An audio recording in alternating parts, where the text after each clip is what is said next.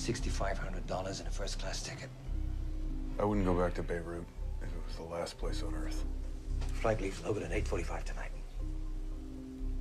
Well, it sounds like you got about six hours to find somebody else. I was told that's not an option. Look, I have no idea what's happening here. Well, a lot easier for both of us if, if I did, but um, I was told to tell you that uh, time is extremely tight, and the agency would be deeply grateful for your cooperation. It's a serious request, Mason. They know that.